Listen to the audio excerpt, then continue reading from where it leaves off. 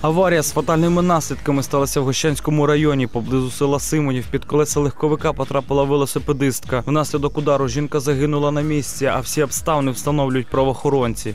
13 липня близько 18.30 на автодорозі Гоща Острог житель міста Нітішин, керуючи автомобілем Toyota Camry, збив велосипедистку, яка рухалася посередині смуги проїжджої частини. 41-річна місцева жителька отримала травми, несумісні життям. Тіло доставили в морг для проведення судово-медичної експертизи. Автомобіль та велосипед вилучили на території Гощанського відділення поліції. За результатами освідчення на стан алкогольного сп'яніння водій був тверезим. За фактом порушення безпеки правил дорожнього руху, що спричинили смерть потерпілого, відкрито кримінальне провадження за частиною 2 статті 286 Кримінального кодексу України.